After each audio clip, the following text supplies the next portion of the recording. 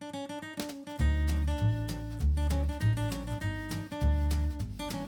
Welcome to Mobile Meals. Steve Duval and Tom Shaw from Thor Motor Coach. It is great to have you in the Mobile Meals kitchen. Yes, it is great to be back. And if you are joining us once again, thank you very much for tuning in. If this is your first time, what we like to do here is show you some of the great things you can make using the tools in your motorhome. But I need to set this up. We are not professional chefs. Not even kind of close. So the motto of this show here is it's not really about presentation, it's more about the way it tastes. And today what you have whipped up is gonna taste great. Yes, it is. We've got sausage with bow tie pasta and asparagus. So it is really easy to do. We have our water boiling on our induction cooktop. So we're gonna go ahead and we're going to throw in our pasta. And at the end of this segment, we'll go ahead and give you all the ingredient list.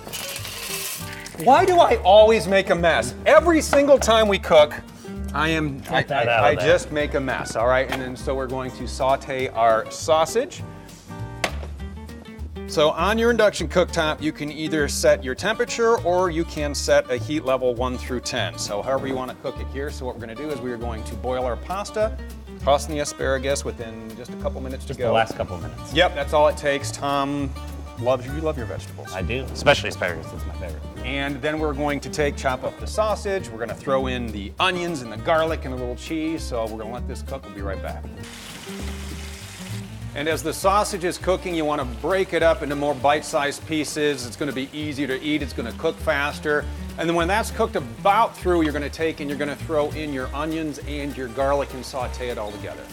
All right, so we are about ready to throw in our onion and our garlic. The pasta is just about done, but what we did was we turned the water off because we want to time it out so everything's done at the mm-hmm. same time. Yep. All right, so we're gonna go ahead and throw in our garlic and our onion right into the sausage here and get this all sauteed together and get that nice and delicious. Onion. The flavor, Tom, you need the flavor. Yeah. Instantly, you got that great aroma through your kitchen. And all you really want to do is just get those onions a little bit brown. We're only a few minutes out, so while Tom is sauteing the sausage and the onions and garlic together, I'm gonna go ahead and toss the asparagus into that hot water.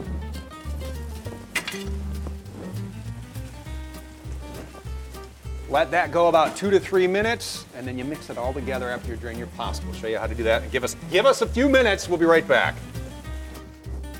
So the time has come to put it all together. We're gonna go ahead and we're gonna strain the pasta and the asparagus, put it in the bowl, and mix it with the sausage. I'll go ahead and start draining the water here. And it really didn't take long. We were we had the asparagus in there for about three minutes. or Now, so. how do you know an asparagus is done? You are the master here. Well, uh, it depends on how you're cooking it, but when we got it here in the water like this, I do not want my asparagus to be um, overcooked or like, um, Soggy? yeah, it gets like soggy or slimy would be a, term I would use. Slimy. And I prefer it to be a little bit more on the crunchy side. Okay. And like I said, it doesn't take very long, maybe like three minutes. And you mix it all, don't burn yourself. Mix it all together. Throw away your, drop your extra noodles on the floor because that's where they go. If you have dogs like we do, they'll appreciate the snack. I have a little cheese here. You go ahead and you sprinkle in your Parmesan. We also use turkey sausage in this because we want it to be a little bit healthier. You can go ahead and use any sausage of your choice. Yeah, crumble sausage would be Yeah. would be great, but Italian sausage that would be awesome in this. It's pretty easy, I would say. One aria. Yeah, one aria on our aria scale. So it's just that easy. The complete recipe is right at the end of this video. So we're gonna go ahead, let it cool down, plate Get it that, up. that cheese is melting. yeah, We're gonna add some cheese on the top, I think. have to have more cheese. You Yeah. always have to add more cheese. But I always like to, whatever the recipe calls for, I double it. That's just the way that I am. So the recipe's right at the end of this. We're gonna enjoy. Thanks for watching, and we'll see you on the next episode of Mobile Meals.